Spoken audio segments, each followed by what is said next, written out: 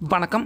இப்போ நம்ம Chennai super Kings அணி நேற்று மும்பை இந்தியன்ஸ் அணிக்கிட்ட தோற்று போனதால் கண்டிப்பாக நிச்சயமாக நம்ம சிஎஸ்கே அணிக்கு இனிமேட்டு பிளே ஆஃப் சுற்றுக்கு உள்ளே போகிற வாய்ப்பு சுத்தமாக இல்லை அப்படின்னு நிச்சயமாக உங்களை பல பேர் இந்த விஷயத்த நினச்சி கவலைப்பட்டுக்கிட்டு இருக்கிறதுக்கான வாய்ப்புகள் நிச்சயமாக இருக்குது இப்படி இருக்க நம்ம சிஎஸ்கே அணிக்கு இன்னமும் பார்த்தீங்கன்னா பிளே ஆஃப் சுற்றுக்கு உள்ள போகிறதுக்கான வாய்ப்பு இருக்குது அப்படின்னு நம்ம டிவியில் பார்க்குற கிரிக்கெட் வர்ணாலையார் முத்து பார்த்தீங்கன்னா நேற்று நம்ம சிஎஸ்கே அணி தோற்று போனதும் அடுத்து நடக்க போகிற ஆட்டங்களை வச்சு நம்ம சிஎஸ்கே அணியின் பிளே ஆஃப் சுற்றை பற்றி இப்போ அவர் நமக்கு தெல்ல தெளிவாக சொல்லியிருக்காரு. ஸோ அதனால் இந்த வீடியோவை நீங்கள் அப் டு எண்டு ஸ்கிப் பண்ணாமல் பார்த்தா மட்டும்தான் எப்படி நம்ம சிஎஸ்கே அணி பிளே ஆஃப் சுற்றுக்கு உள்ளே போகிறதுக்கான வாய்ப்புகள் இருக்குது அப்படிங்கிறத உங்களால் சரியாக புரிஞ்சுக்க முடியும்.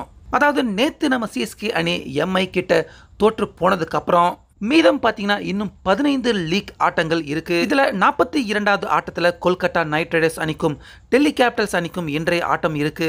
இதுல கொல்கத்தா நைட் ரைடர்ஸ் அணி தோற்கணும். அதுக்கப்புறமா நாற்பத்தி மூன்றாவது ஆட்டத்தில் கிங்ஸ் லெவன் பஞ்சாப் அணியும் எஸ்ஆர்ஹெச் அணியும் இன்னைக்கே மோதுறாங்க.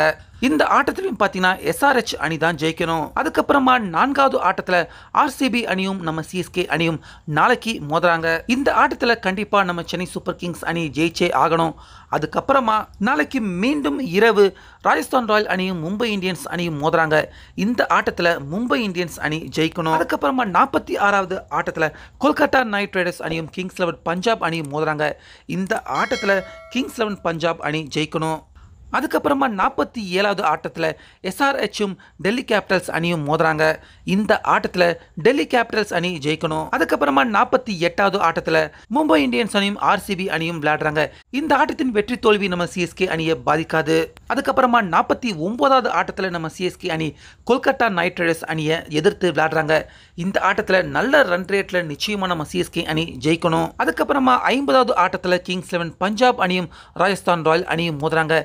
இந்த ஆட்டத்தில் ராஜஸ்தான் ராயல் அணி ஜெயிக்கணும். அதுக்கப்புறமா ஐம்பத்தி ஓராவது ஆட்டத்தில் டெல்லி கேபிட்டல்ஸ் அணியும் மும்பை இந்தியன்ஸ் அணியும் விளையாடுறாங்க. இந்த ஆட்டத்தின் வெற்றி தோல்வியை பற்றி நமக்கு கவலை இல்லை. அதுக்கப்புறமா ஐம்பத்தி இரண்டாவது ஆட்டத்தில் ஆர்சிபி அணியும் எஸ்ஆர்ஹெச் அணியும் மோதுறாங்க.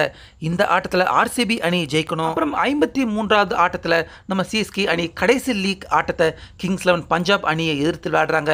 இந்த ஆட்டத்தில் நம்ம சிஎஸ்கே அணி கண்டிப்பாக ஜெயிக்கணும். அப்புறம் ஐம்பத்தி நான்காவது ஆட்டத்தில் கேகேஆர் அணிக்கும் ராஜஸ்தான் ராயல் அணிக்கும் ஆட்டம் இருக்கு. இதுல கேகேஆர் அணி ஜெயிக்கணும். அப்புறம் ஐம்பத்தி அஞ்சாவது ஆட்டத்தை பத்தி எந்த கவலையும் இல்லை. ஆனா ஐம்பத்தி ஆறாவது கடைசி லீக் ஆட்டத்துல மும்பை இந்தியன்ஸ் சன்ரைசர்ஸ் ஹைதராபாத் அணியை தோற்கடிக்கணும். ஸோ இப்போ கடைசியா நடக்க போற இந்த பதினஞ்சு லீக் ஆட்டத்துல இப்போ நம்ம இங்க குறிப்பிட்டிருக்க மாதிரி மற்ற அணிகளின் வெற்றி தோல்வி நம்ம சிஎஸ்கே அணிக்கு சாதகமாக அமைஞ்சுது அப்படின்னா நிச்சயமாக நம்ம சிஎஸ்கே அணி இப்போ கூட பிளே ஆஃப் சுற்றுக்கு உள்ள போகிறதுக்கான வாய்ப்பு நூறு சதவீதம் இருக்குது ஸோ இப்போ முத்து அவர் சொன்னது போலவே மற்ற அணிகளின் வெற்றி தோல்வி நம்ம சிஎஸ்கே அணிக்கு சாதகமாக அமையுமா?